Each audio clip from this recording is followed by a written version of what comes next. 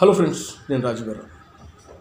NDA కూటమిదే అధికారం అని చెప్పేసి అన్ని సర్వే సంస్థలు చెప్తా ఉన్నాయి. ఒక్కటంటే ఒక్క సర్వే సంస్థ కూడా ఈసారి కాంగ్రెస్ పార్టీ అధికారంలోకి వస్తుంది ఇండియా కూటమి అధికారంలోకి వస్తుందని చెప్పలేకపోతున్నాయి. అంటే మూడోసారి మోడీ గారు మళ్ళీ అధికారాన్ని చేపట్టబోతున్నారు అనేది స్పష్టంగా కనబడతా ఉంది.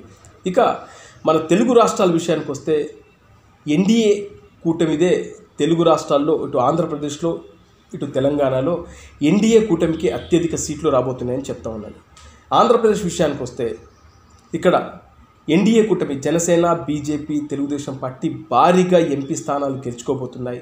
జనసేన పోటీ చేస్తున్న రెండు లోక్సభ స్థానాలు మచిలీపట్నం కాకినాడ కూడా జనసేన పార్టీ గెలుచుకోబోతుంది. అలాగే టీడీపీ అలాగే బీజేపీ పోటీ చేసిన స్థానాలు కూడా గెలుచుకోబోతున్నాయనే విధంగా చెప్తా ఉన్నారు.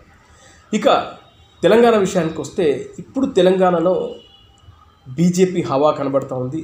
ఎందుకంటే మొన్న అసెంబ్లీ ఎన్నికల్లో బీజేపీ మంచి ఫైట్ ఇచ్చినా కూడా ఆ రోజు కొన్ని తప్పిదాల వల్ల దాదాపు ఇరవై ఐదు సీట్లు గెలుచుకునే బీజేపీ తక్కువ సీట్లకే పరిమితం కావడానికి బండి సంజయ్ని మార్చడం పెద్ద తప్పు పెద్ద పొరపాటు జరిగిందని బీజేపీ అధిష్టానమే ఒప్పుకుంది.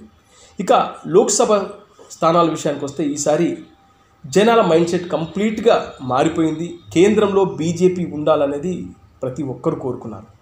ఎందుకంటే అసెంబ్లీ ఎన్నికల్లో ఒక్కొక్క గ్రామాల్లో ఒక్కొక్క బూతులో కేవలం పది పదిహేను ఓట్లు పడ్డ బీజేపీకి ఈసారి గ్రామాల్లోని పోలింగ్ బూతులలో వందలకు పైగా ఓట్లు పడ్డాయి.